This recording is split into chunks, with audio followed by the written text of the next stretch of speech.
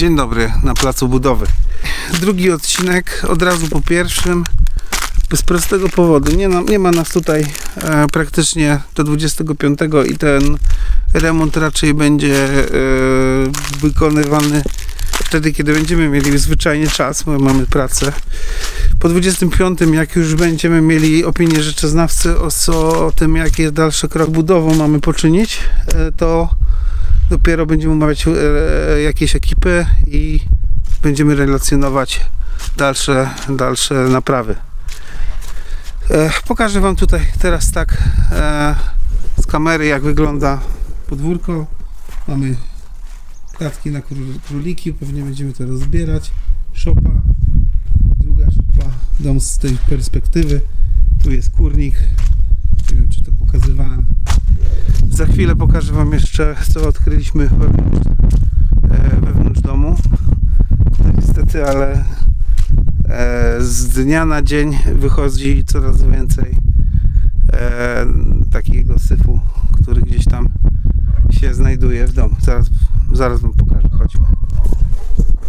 To jest od wczoraj wyniesiony gruz. Rozłożyliśmy starą wykładzinę. W ogóle ta wykładzina była położona na drewnianej podłodze. To trzeba pamiętać, że jak jest drewniana podłoga, takich rzeczy się nie robi, bo podłoga nie schnie. I tu mamy ewidentny przykład, jak do czego doprowadziła linole- linoleum na drewnianej podłodze. Tu jest przyłącze wody. Nie wiadomo, czy tam nie jest ono gdzieś e, rozszczelnione, czy nie leci woda, bo cała podłoga jest mokra aż do pieca. Może tutaj, bo tutaj był gdzieś zlew, no to może też tak być, że e, używano tutaj wody i ta woda w, wsiąkała i linoleum nie pozwalało temu uciec, ale raczej sądzę, że to, e, że to nie jest e, powód. Tylko tu gdzieś musi cieknąć po prostu woda. Albo z dachu podczas, po, po, podczas e, deszczu, albo z roztopów z ziemi, nie wiadomo, zobaczymy. No i tutaj to jest clue programu. Wszystkie bale są przegniłe na wylot. Jakby to mocniej puknąć, to by to zwyczajnie się złamało. Te okno by, nie wiem czy spadło tutaj wczoraj. E, delikatne puknięcie spowodowało odsłonięcie nowego przejścia. No, Ale i tak to będziemy wyburzać, bo tutaj do szybu e, nie szybu, tylko do komina będzie e, takie przejście i taki open space się tutaj stworzy. Okno otwarte. Tak wyglądają e, ślady po szafie.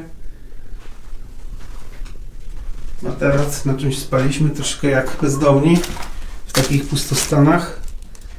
O, tutaj jest odkryty tych, tych bali i tutaj od razu widzimy jak przylega bal do ściany, która jest dobudowana. Tu w ogóle nie ma, nie ma żadnej szczelności, ale to jest akurat to jest akurat dobrze. A to jeszcze, jeszcze taka ciekawostka. E, to jest piach, który normalnie tutaj był gdzieś za e, rzędem tych regałów i to był e, to, to było prawdopodobnie gniazdo myszy. Tak sobie tutaj się zabawiały. Jak widzicie, tutaj też jest spróchniałe, więc mamy tak, jeden punkt spróchniały cały, to prawdopodobnie cała ściana do wymiany. Cała ściana do wymiany, przynajmniej przynajmniej do tego albo do tego elementu. Tam kilka desek. Całe deskowanie z sufitu będzie zdjęte. Zobaczcie jak to wygląda. Tu jest deska na zakładkę przybijana do tych belek konstrukcyjnych dechowych. Tak jakoś dziwnie. Nie, że na, tylko pod. Ale to pewnie po to, żeby później przyczepić tą wiklinę. Ona jest tutaj drutowana, a na to jest narzucany e, tynk i malowany sufit. Tak, o tutaj mamy przykład, jak wygląda sufit, jak jest tynkowany. No. Powiedziałem, że to jest tak grubo, a może to nawet nie jest tak grubo. Ups, dobra.